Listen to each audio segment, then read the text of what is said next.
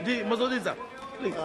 Chairman साहब, बहुत शुक्रिया मुझे इस बिल पर बोलने की इजाज़त देने के लिए। जनाब, मैं the government of national capital territory of Delhi amendment bill 2024 की मुखारबत में खड़ा हूँ। जनाब, दरअसल ये एक हमला है आइन पर और आइन के जो फंडामेंटल जो बुनियादी आइन की जो रूह है उस पर यह हमला है।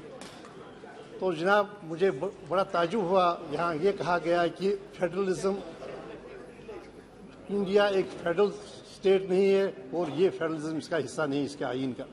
जनाब केशवनंद भारती केस में स्पष्ट किया, साफ़ किया, सुप्रीम कोर्ट ने कि फेडरलिज्म एक बेसिक फीचर है, बेसिक स्ट्रक्चर का हिस्सा है तो इसको पामाल किए जाने की कोई इजाज़त नहीं है। तो जनाब, दरअसल बात क्या है?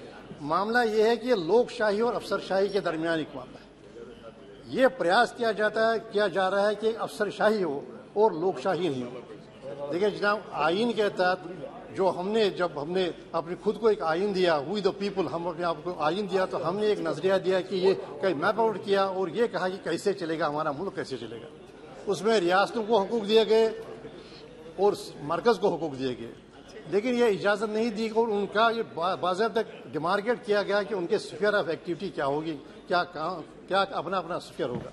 लेकिन ये जो बिल है, इस बिल से कोशिश ये की जा रही है कि जो जो हकूक हैं, जो भी इख्तियार हैं, दिल्ली के, वो खुद ले जाए। जब यहाँ बार बार जम्मू कश्मीर का ज़िक्र हुआ, और होना भी चाहिए था, क्योंकि ये मामूल बन गया इस सरकार का कि आक्रमण करने का आइन पर। और ये आक्रमण हुआ पाँच अगस्त 2019 को, जब एक स्टेट के दो हिस्से किए गए, और दफ़ा तीन सौ सत्तर और पैंतीस ए को पामाल किया गया, और आइन रोंद कर वो सारे फैसले किए गए। तो जनाब आप तीन सौ छप्पन का सहारा लेकर जो किसी भी जगह एक लेबॉर्ट्री बनाया गया जम्मू कश्मीर को, ये जो लेबॉर्ट्री बन गई और तजुर्बा किया गया, वो किसी भी सूबे के साथ, किसी भी स्टेट के साथ किया जा सकता है। तीन सौ छप्पन का सहारा लेकर एक स्टेट के दो हिस्से किए गए और सबस्टेंटिव चेंजेस किए गए तीन सौ छप्पन के तहत कॉन्स्टिट्यूशन में अमेंडमेंट्स की गई, जबकि तीन सौ छप्पन एक एमरजेंसी प्रोविज़न है और वो रेस्टोरेटिव है वो सिर्फ़ जमहूरत बहाल करने का एक प्रयास है, एक मामला है। तो जनाब क्या नहीं और आजकल क्या क्या जा रहा है? डेढ़ करोड़ लोगों को जनाब कोई असम्बली नहीं है नौ साल से कोई हुकूमत नुमाइंदा हुकूमत नहीं है नहीं नहीं वही पर आओ ना क्योंकि उसके साथ मुंसलिक है ना तो कोई हुकूमत नहीं है और नहीं असम्बल असम्बली की का इंतखब करने के लिए मुंतखब करने के लिए इनके पास कोई हिम्मत है। तो जनाब एक एक नरेटिव बनाया जा रहा है नॉर्मलसी का जनाब कल जनाब आज जम्मू कश्मीर बैंक छोटे जो ताजर हैं छोटे जो व्यापारी हैं उनकी जायदादें जब्त कर रहा है।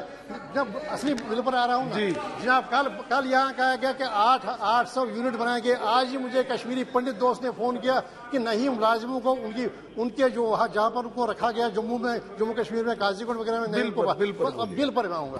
तो जनाब ये भी उसी तसलसल में है।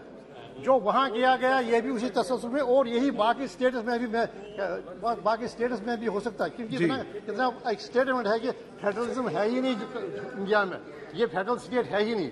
अब जनाब इस बिल को देखिए। सारा प्रयास है सारा मकसद है केंद्रित करना जो भी पावर है जो भी इख्तियार है लेफ्टिनेंट गवर्नमेंट को ताकि एक चुनी हुई सरकार जो उस चुनी हुई सरकार के जो हकूक हैं, उसके जो अख्तियार हैं, उनको बिल्कुल खत्म किया जाए और उनको उनको बिल्कुल गैर मौसर बनाया जाए। अब जनाब, अगर थोड़ा सा एक देखेंगे जनाब, इसमें प्रयास है, इसमें यह कहा गया कि एक एक एक जनाब, एक national capital civil service authority बनाई जाएगी, जिसमें केंद्रित होंगे, जिसमें मरकूज होंगे सारी पावर्स। अब जनाब, उसके क्या इख्तियार हैं? अगर वहाँ पर सर्वसहमति भी हो, अभी कहा गया कि अगर ये होगा कि चीफ मिनिस्टर को वो रूल करेंगे दो ब्यूरोक्रेट्स जो मरकज के बनाए हुए होंगे। तो ये कैसा ये कैसा सिस्टम है? लेकिन अगर वो सहमति भी हो, फिर भी आप देखिए, फिर भी जो रिकमेंडेशन अगर वो यूनानिमस भी हो, फिर भी इख्तियार है लेफ्टिनेंट गवर्नर को दरकिनार करने का और वापस भेजने का। तो जनाब, ये कैसा सिस्टम बनाया जाए कैसा स्ट्रक्चर बनाया जा रहा है, जबकि एक चुनी हुई सरकार जो है, चुनी हुई असेंबली है, उसके जो इख्तियार है और उसका जो चुना हुआ वज़ीर आला है उसको बिल्कुल डाउनग्रेड करके और उसके सारे इख्तियार को बिल्कुल गैर मौसर करके एक इख्तियार मरकूज किए जा रहे हैं जो नॉमी है। जैसे जम्मू कश्मीर के सिलसिले में जो सदर जमहूर ने खुद की कॉन्फ्रेंस खुद ली क्योंकि वहाँ के गवर्नर जो थे उनके बनाए हुए थे। वो कैसे कंसल्टेशन और कॉन्फ्रेंस हुई जो आइन का तकाजा था वो दरकिनार किया गया। जनाब ये डेंजरस ये बहुत ही खतरनाक तरफ़ जो दिशा में मुल्क जा रहा है जी। क्या किया जा रहा है कैसे शोबों को और जम्मू कश्मीर के मामले में जनाब बाकी जगह पर जनाब तीन है तीन लिस्ट थे। Concurrent union list and state list लेकिन जम्मू कश्मीर की जो खुदमुख्तारी थी उसमें जनाब स्टेट लिस्ट था ही नहीं क्योंकि जो हमने दिया था केंद्र को सिर्फ़ वही केंद्र के पास बार बार उधर चले जाते हैं। और कहाँ जाऊँ? जम्मू कश्मीर को रिप्रेजेंट करता हूँ। जम्मू कश्मीर के बगैर और कहाँ जाऊँ? तो जनाब बस बस ये- ये- ये कंक्लूड करूँगा। तो जनाब जनाब जनाब बात यह है कि जनाब ये भी उसी गैर अब देखिए एक और बात है कॉन्स्टिट्यूशनल मॉरलिटी की। जब अगर ये कहा जा रहा है कि सुप्रीम कोर्ट के सुप्रीम कोर्ट सामने मामला है तो प्रॉपर्टी ये है मॉरलिटी ये है इथिक्स कॉन्स्टिट्यूशनल ये है? सुप्रीम कोर्ट का इंतज़ार किया जाए वो क्या कहेगा? फिर किया जाए। हो नहीं रहा। जिस तरह यहाँ अमेंडमेंट बिल हो रही है अरे कॉन्स्टिट्यूशनल मॉरलिटी ये है कि हम टॉप कॉन्स्टिट्यूशनल कोर्ट के फैसले का इंतज़ार करें उनको अपना फैसला देने जैसे बिल की अमेंडमेंट लाई गई Okay. वो भी और उसको ऑपरेशनल किया गया।